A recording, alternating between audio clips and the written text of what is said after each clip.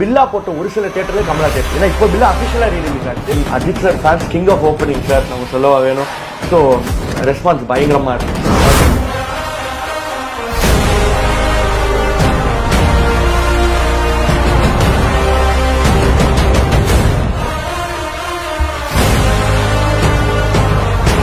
அப்போ வந்தப்போ எங்களால் ஸ்க்ரீனில் பார்க்க முடியல. இப்போ வந்தப்போ பார்க்க முடியுது. செமையாக இருக்குது